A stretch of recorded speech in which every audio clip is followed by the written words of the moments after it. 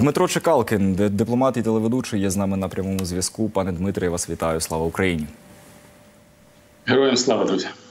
Пане Дмитре, якраз почали е, говорити про звільнення пана Вадима Пристайка із посади посла України у Великій Британії. Як загалом можете прокоментувати цю ситуацію? Тому що бачимо, вже є реакція і Бориса Джонсона, є реакція навіть е, редакторки Sky News, який власне видання, якому Пристайко давав інтерв'ю, і тоді якраз назвав нездоровим сарказмом репліку Зеленського про те, що він може хоч щодня дякувати британському міністру оборони Волесу за військову допомогу Україні. І як загалом, яке це вплив, це рішення, цей крок буде мати е, для, для України з точки зору наших західних партнерів? У мене вчора вийшла якраз програма на моєму youtube каналі на youtube каналі прямого називається Дипломатія без дипломатів Ем, або е, Дипломатія без шкарпеток. Да? Там багато було коментарів на тему того, як недоречно виглядає цей дрес-код українських дипломатів впродовж останніх там півтора е, року. І цікаво, що під час зустрічі в Вільнюсі наш міністр.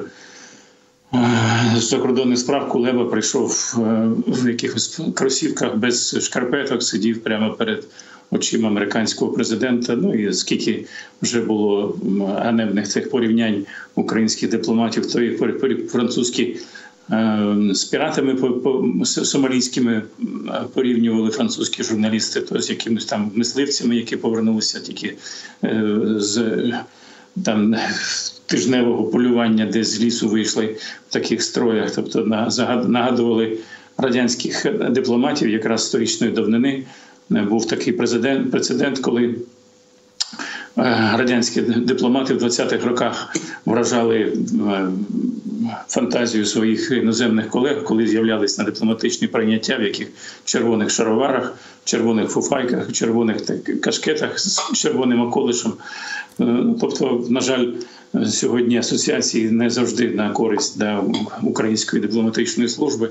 І в мене ну, достатньо прикладів моїх знайомих колег, які лишають українські МЗС через те, що їм або нічого не пропонують е, досвідченим дипломатам, які повертаються з закордонних відряджень, маючи за плечима там 20-25-річний досвід роботи на відповідальних посадах, і знаючи, як сьогодні напружено працюють українські амбасади в європейських країнах, де опинилися ну, рекордна кількість, скільки там до 8 мільйонів українських громадян, які потребують консульської допомоги, але в той самий час нехтують е, фахівцями з великим досвідом через те, що як ми правильно зауважили. е, Головним сьогодні критерієм для відбору дипломатичних кадрів є 100% повна лояльність.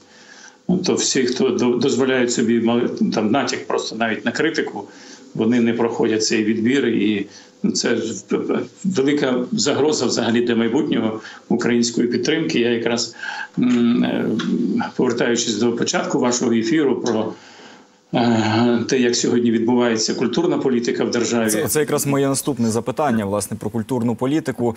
Е, Чи доречна ось саме така культурна політика, чи доречний саме такий аудіовізуальний контент, так на який виділяються кошти е, зараз е, під час повномасштабної війни, під час взагалі російсько-української війни, яка триває з 2014 року, і за той період ми бачили приклади якісного кіно.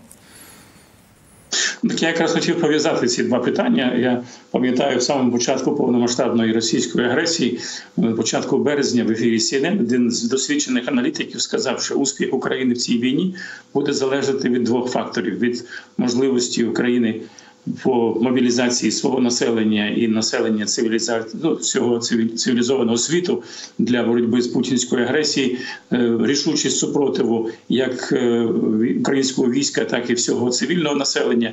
І для цього мобілізаційний ресурс, тобто як е, правильно вибудувати свою агітаційну пропагандистську кампанію для того, щоб залучити весь цивілізований світ на допомогу нам. Ну і це перший перший був чинник, і другий це наявність якраз високотехнологічної, високоточної зброї, яка знову ж таки має пройти завдяки зусиллям української дипломатії. Тобто е, чомусь е, наш верховний дипломат і верховний головнокомандувач вірить, що його там трагічний вираз його обличчя разом з зеленою футболкою вони мають вплинути да, на свідомість.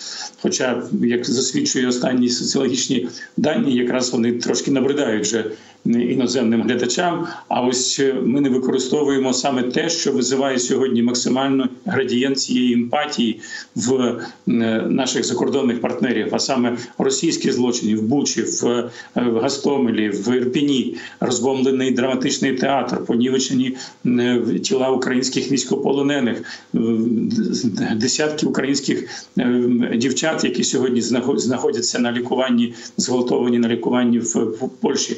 В нас ці теми висвітлюють сьогодні щодня провідні телеканали світу, які на жаль іноді їх лишають акредитації через те, що вони там з'являються в тих чи інших звільнених містах раніше ніж е, офіційні українські там очільники, е, як це було з CNN, яке було з французькими телеканалами, замість того, щоб робити з ними успішну колаборацію, тобто замість того, щоб знімати ці ну абсолютно